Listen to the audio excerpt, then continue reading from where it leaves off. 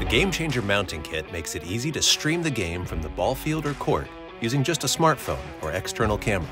For baseball and softball, the carrying case doubles as a camera hood that clips onto chain link fences. To get started, simply undo the flap on the back of the case. Next, attach the case to the backstop using the clips and straps.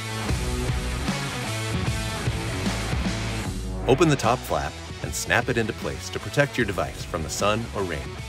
Insert your phone into the holder or connect your camera to the mounting attachment. Before you place into the case, pull up your game and go live. Next, frame the game by positioning the hood for your best possible view of first to third. Make adjustments as needed to eliminate the chain link fence from the field of view.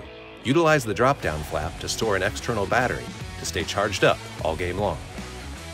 If you can't or don't need to mount the camera, no problem. The mounting case has a universal screw that connects to the tripod.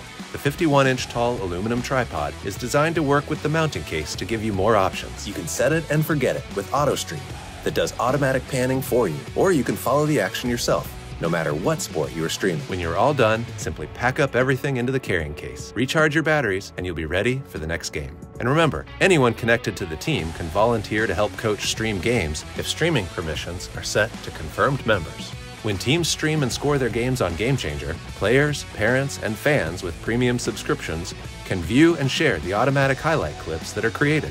For more tips on live streaming, using the mounting kit, or anything Game Changer, check out the Game Changer admins groups on Facebook or Reddit, or Game Changer University.